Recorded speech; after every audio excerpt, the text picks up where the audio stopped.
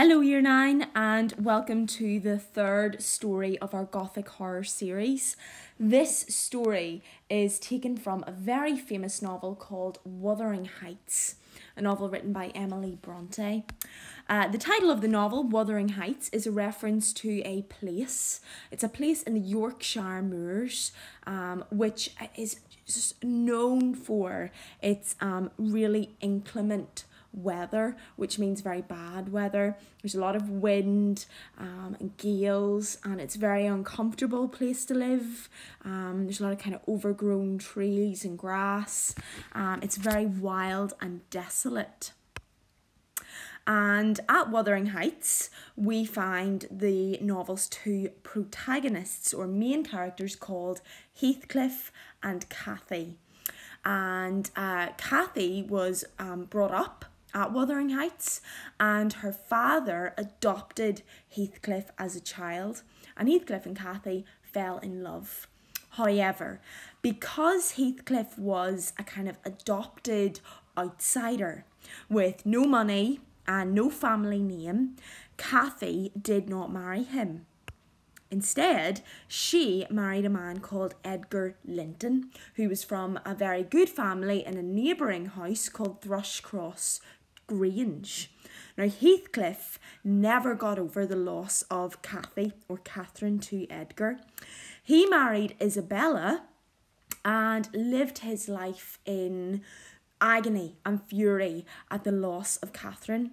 And Catherine equally never got over her love of Heathcliff and actually fell very, very ill and died um, as a result of her kind of inability to live the life that she wanted and marry the man that she truly loved.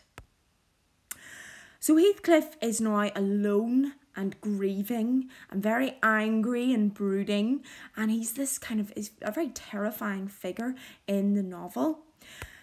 And we then pick up the novel many, many years later when an outsider not connected with the story called Lockwood comes to visit Heathcliff in Wuthering Heights because he wants to rent Thrushcross Grange, that other house that Edgar Linton formerly lived in. So we're going to pick up the story. This is very near the beginning when Lockwood arrives at Wuthering Heights, arrives at Heathcliff, Heathcliff's house and wants to rent Thrushcross Grange and he is attacked by dogs at Wuthering Heights and is forced to stay the night. Listen to what happens to Lockwood at Wuthering Heights. So the narrator, Mr. Lockwood, has just arrived at Wuthering Heights, of which Mr. Heathcliff is master. Lockwood is being brought to his bedroom by the housekeeper, Zillah.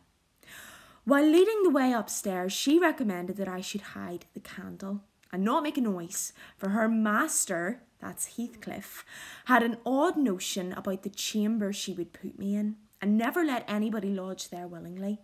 I asked the reason. She did not know, she answered. She had only lived there a year or two, and they had so many queer goings on, queer here means strange, she could not begin to be curious. Too stupefied to be curious myself, I fastened the door and glanced round for the bed. The whole furniture consisted of a chair, a clothes press, and a large oak case with squares cut out near the top resembling coach windows. The ledge where I put my candle had a few mildewed books piled up in one corner, and it was covered with writing scratched on the paint. This writing, however, was nothing but a name, repeated in all kinds of characters, large and small. Catherine Earnshaw, here and there, varied to Catherine Heathcliff, and then again to Catherine Linton. Now, we from the backstory know what this is about. This is Catherine as a little girl. Her maiden name, the name she was born with, is Catherine Earnshaw. And so she writes that name in the wall, as children often do. Children write their name um, in places. And she imagines being with Heathcliff, and so she writes Catherine Heathcliff, imagining that that is her second name. And then, of course, Edgar Linton is the man that she ends up marrying, and so she also writes Catherine Linton. And here we see this young girl feeling very conflicted and um, concerned about who she's going to marry. In vapid listlessness, now that means a kind of um, just not really thinking. Um, he's sort of in a daydream after seeing this. In vapid listlessness, I leant my head against the window and continued spelling over Catherine Earnshaw, Heathcliff, Linton, till my eyes closed. But they had not rested five minutes when a glare of white letters started from the dark, as vivid as spectres. Spectres is another word for ghosts. The air swarmed with Catherines, and rousing myself to dispel the obtrusive name, I discovered my candle wick reclining on one of the antique volumes, that means books, and perfuming the place with an odour of roasted calf skin. So his candle is beginning to burn the, uh, the leather cover of the books. I snuffed it out, and very ill at ease under the influence of cold and lingering nausea, sat up and spread open the injured tome on my knee. So, tome is another word for a very thick book. It was a testament in lean type and smelling dreadfully musty. A fly leaf bore the inscription Catherine Earnshaw, her book, and a date some quarter of a century back. I shut it and took up another and another till I had examined all. Catherine's library was select, and its state of dilapidation, that means sort of destruction or something being run down, proved it to have been well used, though not altogether for a legitimate purpose. Scarcely one chapter had escaped a pen and ink commentary, at least the appearance of one, covering every morsel of blank that the printer had left. Some were detached sentences, other parts took the form of a regular diary, scrawled in an unformed, childish hand. An immediate interest kindled within me for the unknown Catherine, and I began forthwith to decipher her faded hieroglyphics. And this is her diary. An awful Sunday, commenced the paragraph beneath. I wish my father were back again. Hindley is a detestable substitute. His conduct to Heathley is a, Heathcliff is atrocious. H, that's Heathcliff, and I are going to rebel. We took our initiatory step this evening. How little did I dream that Hindley would ever make me cry so, she wrote. My head aches till I cannot keep it on the pillow, and still I can't get over. Poor Heathcliff. Hindley calls him a vagabond, that's another word for a menace, and won't let him sit with us, nor eat with us any more. And, he says, he and I must not play together, and threatens to turn him out of the house if we break his orders. He has been blaming our father, how dared he, for treating Heathcliff too liberally, liberally and swears he will reduce him to his right place. Now Hindley is Catherine's brother, and she is very he is very cruel to Heathcliff, as you can see, and keeps Heathcliff and Cathy apart. I began to nod drowsily over the dim page. I began to dream. Almost before I ceased to be sensible of my locality, I remembered I was lying in the oak closet, and I heard distinctly the gusty wind and the driving of the snow. I heard also the fir bough repeat its teasing sound, and ascribed it to the right cause, but it annoyed me so much that I resolved to silence it if possible, and, I thought, I rose and endeavoured to unhasp the casement. The hook was soldered into the staple, a circumstance observed by me when awake, but forgotten. I must stop it nevertheless, I muttered, knocking my knuckles through the glass and stretching an arm out to seize the importunate branch, instead of which my fingers closed on the fingers of a little ice cold hand. The intense horror of nightmare came over me. I tried to draw back my arm, but the hand clung to it, and a most melancholy voice sobbed, let me in. Let me in. Who are you? I asked, struggling, meanwhile, to disengage myself. Catherine Linton, it replied shiveringly. Why did I think of Linton? I had read Earnshaw twenty times for Linton. I'm come home. I'd lost my way on the moor. As it spoke, I discerned obscurely a child's face looking through the window. Terror made me cruel, and finding it useless to attempt shaking the creature off, I pulled its wrist on the broken pane and rubbed it to and fro till the blood ran down and soaked the bedclothes. Still it wailed, Let me in!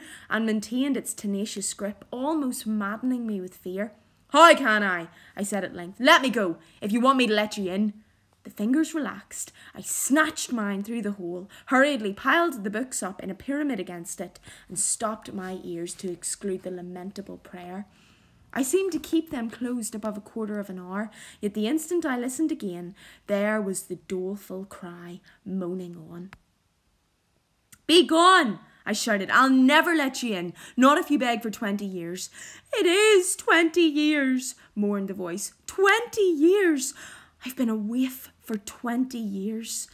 Thorette began a feeble scratching outside, and the pile of books moved as if thrust forward.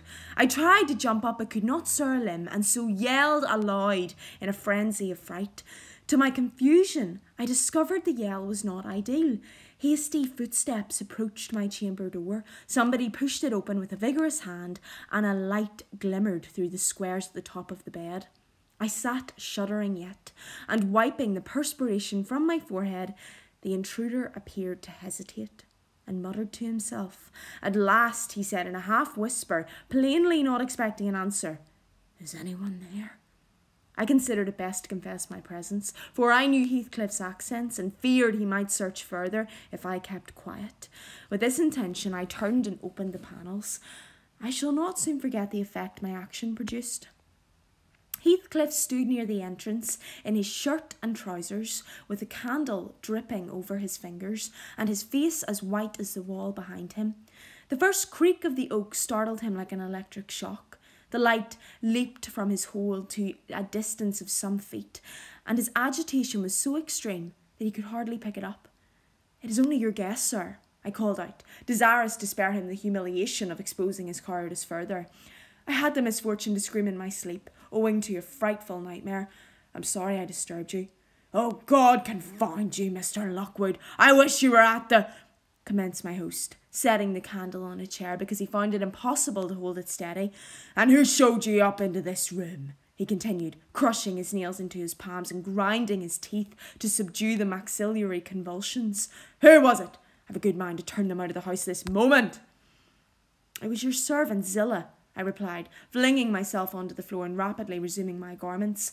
I should not care if you did, Mr. Heathcliff. She richly deserves it. I suppose that she wanted to get another proof that this place was haunted at my expense. Well, it is, swarming with ghosts and goblins. You have reason in shutting it up, I assure you. No one will thank you for a doze in such a den.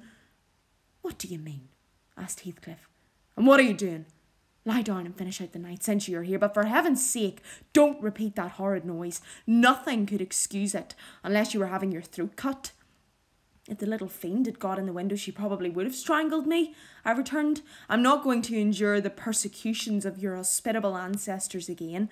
That minx, Catherine Linton or Earnshaw, however she was called, she must have been a changeling, wicked little soul. She told me she had been walking the earth these twenty years, a just punishment for her moral transgressions, I've no doubt. Take the candle and go where you please, muttered Heathcliff. I shall join you directly. Keep out of the yard, though, the dogs are unchained, and the house, do you know, Mount Sentinel there, and now you can only ramble about the steps and passages. But away with you! I'll come in two minutes. I obeyed, so far as to quit the chamber, when, ignorant where the narrow lobbies led, I stood still and was witness involuntarily to a piece of superstition on the part of my landlord which belied oddly his apparent sense. He got onto the bed and wrenched open the lattice, bursting, as he pulled at it, into an uncontrollable passion of tears. Come in, come in, he sobbed. Cathy, do come. Oh, do once more. Oh, my heart's darling, hear me this time, Catherine, at last. The spectre showed a spectre's ordinary caprice. It gave no sign of being. But the snow and wind whirled wide, wildly through, even reaching my station and blowing out the light.